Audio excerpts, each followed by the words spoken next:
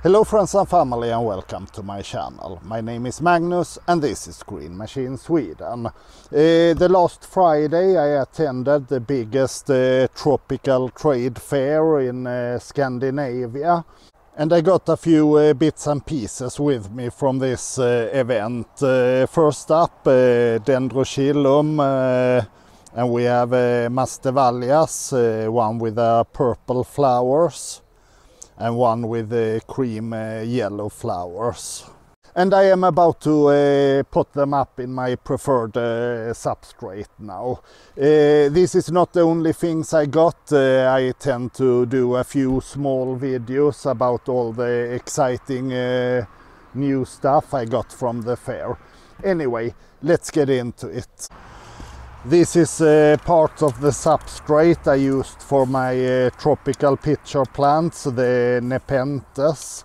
Uh, they were all sold uh, without uh, without substrate, so I have uh, taken it out, and this is the the orchid bark and the small pieces of sphagnum that I have sifted out, sorted out from it and to that uh, I will add, add, a good portion of uh, perlite.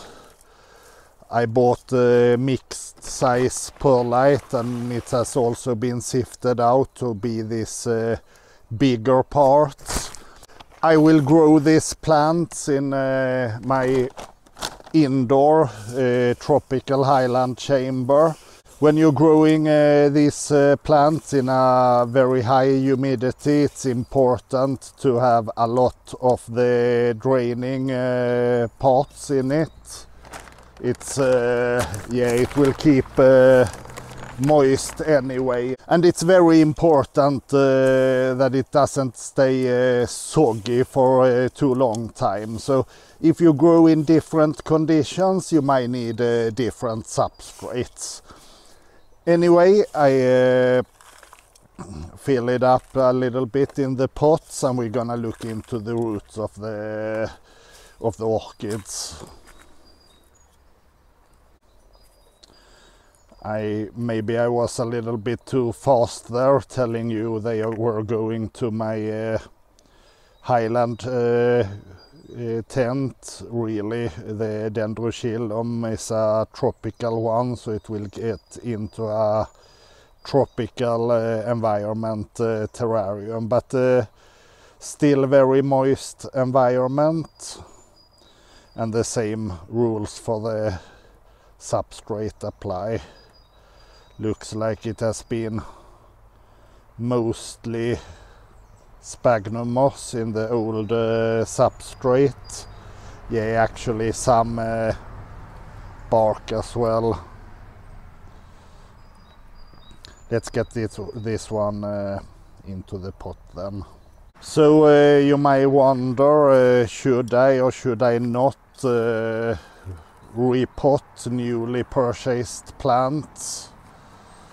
I would say normally uh, don't rush it but I know that I will grow my uh, plants in a lot more humid environment than they are probably used to. And this is my preferred method because uh, it doesn't take so much watering and so much care. They more or less uh, take care of themselves. Uh, the dendrochilum uh, I have another one. Already in my tropical grow tent and it's uh, pulling out flowers right now. Maybe I show you in another video in the future. Anyway uh, dendrochilum uh, tenellum I think it's called. Don't uh, take me for exact pronunciations because uh, yeah. Latin is not my first language. Anyway this one is done and let's uh, look at uh, one of the Masdevallias. So this is a hybrid Masdevallia called Angel Frost X Muvix, I think it's said. Uh, yeah, I'm gonna check uh, closer and uh, spell it out to you in the in the screen. This one had uh, some orchid bark in the bottom and quite a lot of pure sphagnum. It's far too dense for, for my environment. We have really beautiful flowers. Yeah, it has been uh, yeah damaged a little bit during transport. There's another flower coming there. And that tells me that uh, if I put this uh, plant in a little bit warmer environment to start, I will probably make it uh, throughout a little bit more uh, flowers. With uh, a little bit warmer, that's uh, it is in my basement, that's 15 degrees Celsius in night and gets a, a tad above uh, 20 degrees in the day when uh, when the lights is on. So uh, this one is going to have a little bit spring in the in a warmer terrarium and will be moved to my highland tent. Yeah. In a month or so when it's getting warmer there as well you can see here there's some uh, new growth coming. One a little bit weaker, but overall this is a very healthy plant. So yeah, I have spent 10 or 15 minutes to get into it. It looks like in the middle uh, of the roots there's some uh, old uh, broken down soil. So yeah, you never know what you get before you start to work with it.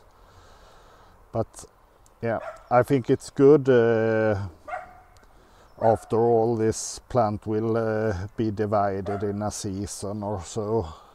So I think I have uh, most of the old broken down soil removed.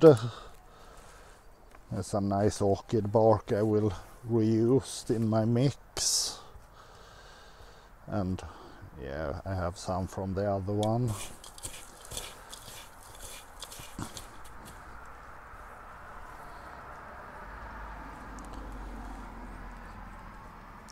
And it's really kind of important to get the soil into and around the root. And uh, there's a orchid uh, and carnivore uh, plant channel that I get a lot of uh, inspiration from. So uh, Mick at uh, Mick Masdevallia Orchids, thank you for all the inspiration. Uh, I did kill a few before I found your channel, so uh, shout out to you if you want to know more about growing Masdevallias.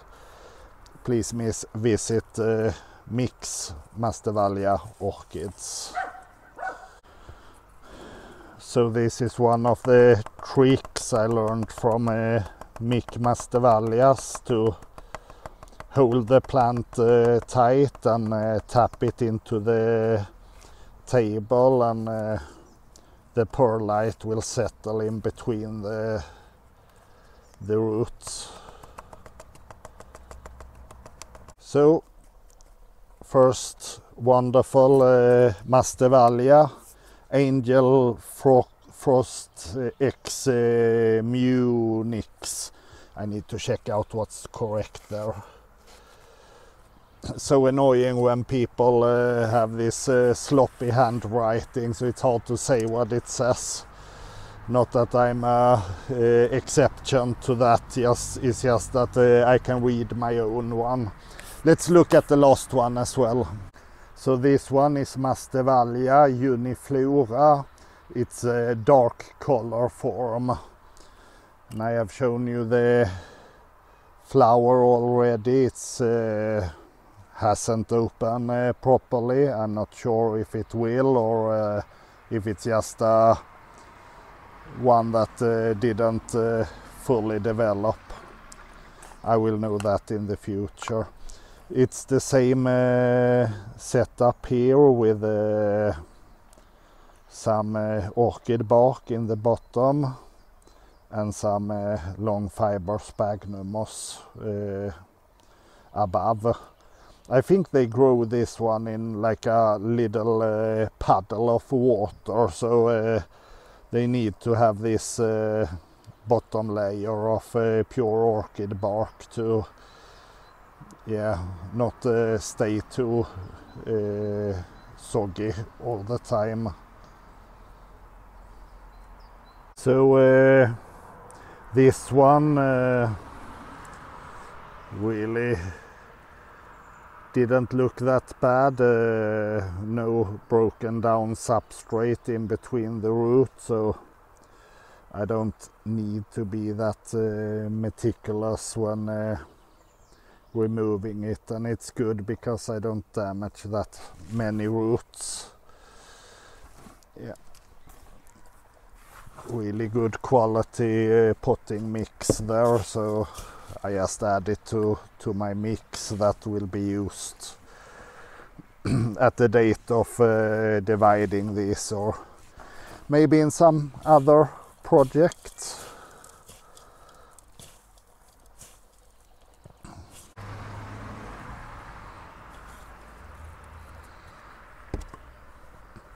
and again tapping it. Adding some perlite where uh, it creates holes by from the tapping